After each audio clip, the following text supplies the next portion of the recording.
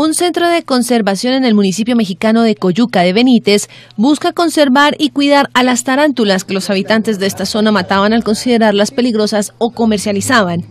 Se trata de la unidad de manejo ambiental ARNE, que intenta concienciar sobre el valor ecológico de la especie y posee la colección de tarántulas vivas más grande del mundo, entre ellas la mexicana de rodillas rojas, originaria de la zona y bautizada con ese nombre por las franjas rojizas que presenta en sus patas un lugar en el que también los visitantes aprenden a conocerlas y cuidarlas, como explica Juan Sánchez Hinojosa, propietario de Aracne. Entonces, lo que estamos haciendo ahora, estamos reproduciendo y el próximo año vamos a empezar a liberar las tarántulas mexicanas de rodillas rojas. Algunos estudios indican que entre la década de los 80 y de los 90, antes que entraran en vigor las normas oficiales que protegen la especie, del municipio se extrajeron ilegalmente más de 200.000 tarántulas mexicanas, lo que supuso un duro golpe medioambiental.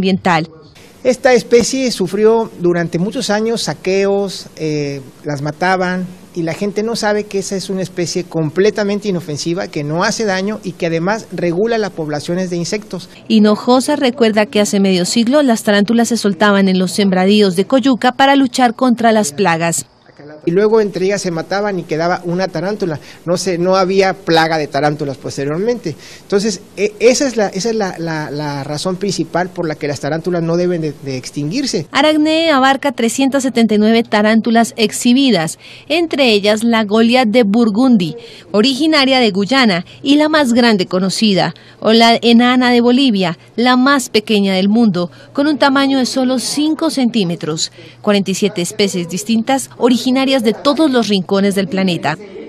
Para los visitantes ofrece la posibilidad de ver cómo mudan las tarántulas, tocarlas o conocer más sobre su ciclo de vida con una película que se proyecta en 4D. Los niños también pueden ver cómo funciona una granja de cucarachas y alimentar con ellas a las tarántulas. En el marco de su proyecto de educación ambiental, Aracnee comenzará este año con la construcción del Centro Nacional de Conservación y Producción de la Tarántula Mexicana.